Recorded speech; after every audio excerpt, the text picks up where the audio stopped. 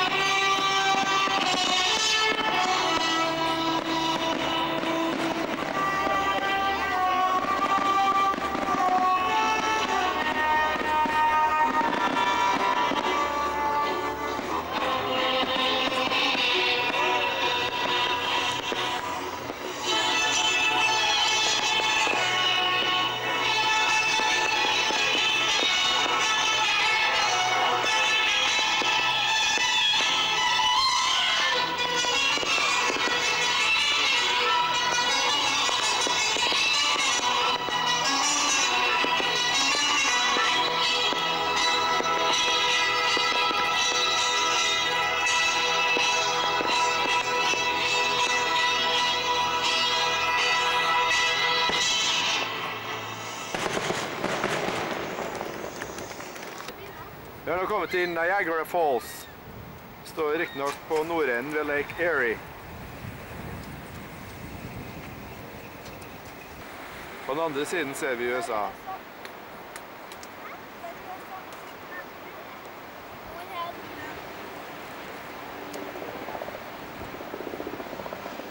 Nå ser vi da Niagara Falls fra oversiden.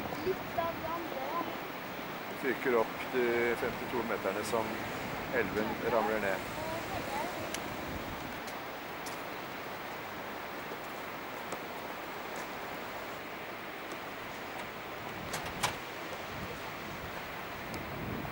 Nå skal vi kjøre ned til nedsiden av fossen. Vi har en Dutch Caravan SE. Hvor ble det av Beate? Skulle ikke tro han var 50 år.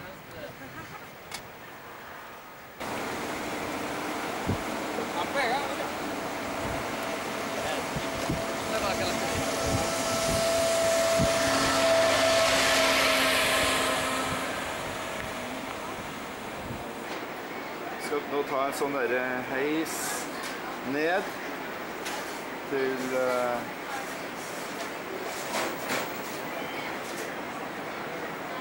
Kostenniveau.